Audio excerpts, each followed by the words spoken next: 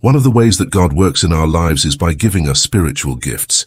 These are special abilities, offices or manifestations that are meant for serving others and building up the body of Christ. There are different kinds of spiritual gifts, but they all come from the same Spirit. In this video I will reveal five signs you may have spiritual gifts but don't know it. Let us know in the comment section how God has used your gifts to bless others. So without further ado, let's get into it. Sign number one. You have a strong desire to minister to others.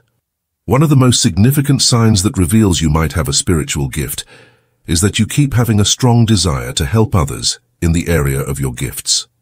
Whenever you go somewhere, you might find yourself with a burning desire to help others who need help in the areas your gifts can solve. The reason this happens is because your gifts often become activated whenever you come around an area where it is needed. For example, if you have the gift of healing, you might always find yourself having a strong compassion whenever you come around sick people.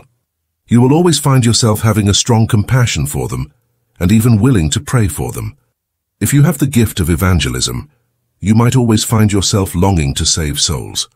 If you have the gift of help or mercy, you might find yourself always volunteering to help, even if you have not been asked to. You don't know why you do it, but you just feel drawn to do it anyway. Sometimes, people might even tell you that you do too much, but as much as you try to stop, you continuously feel the need to help others. You are not doing it because you are expecting anything in return. You do it because there is an inner light in you compelling you to do so. Jesus was this way. The Bible says in Matthew 14 verse 14, When he went ashore he saw a great crowd and he had compassion on them and healed their sick. In Luke 7 verses 11 to 15 it says, When the Lord saw her he had compassion on her and said to her, Do not weep. Then he came up and touched the bier, and the bearers stood still. And he said, Young man, I say to you, arise. And the dead man sat up and began to speak, and Jesus gave him to his mother. Notice that every time Jesus had compassion, a healing took place. These include gifts such as mercy, hospitality, exhortation, and helps as mentioned in Romans chapter 12 verses 6 to 8. For instance, Dorcas was a woman of kindness who made clothes for the poor and widows as mentioned in the book of Acts chapter 9 verses 36 to 39. Dorcas was so good to the point that after she died, the believers had to ask Peter to pray for her to come back to life. These are just a few of many examples of people who had caring gifts and exercised them faithfully. If you have these gifts, you should use them to glorify God and bless others. But also bear in mind that sometimes people might misunderstand your gifts.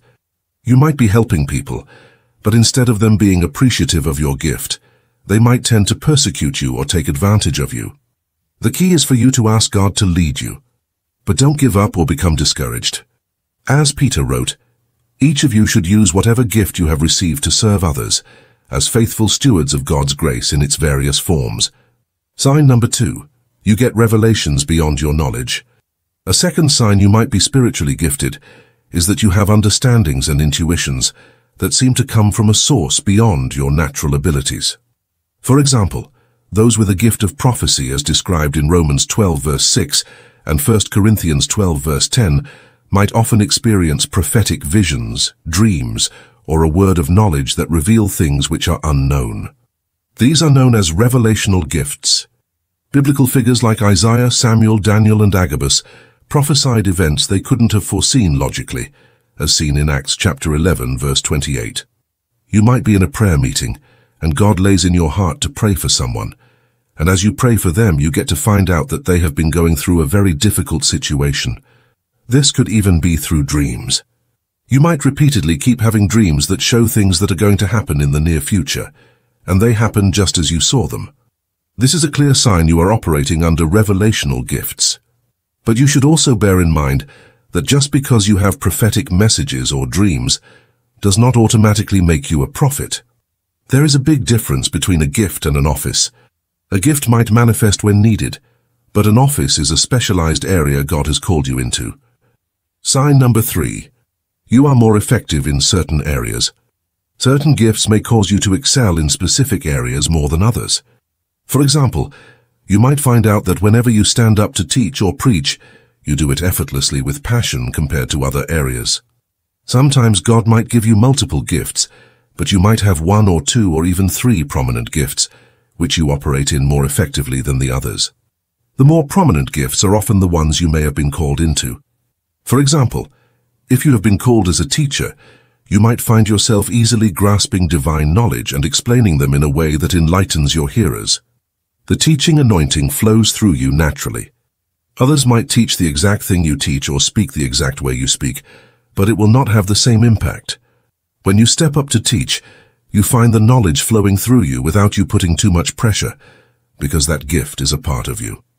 However, while your gift might make you excel, you must be extremely careful against pride. I've mentioned previously on several occasions that nothing damages a man's gifts much more than pride. The moment pride kicks in, you are already on your way to failing. Sign number four. You have authority in that area. When you have a spiritual gift, you will be given an anointing to accompany that gift.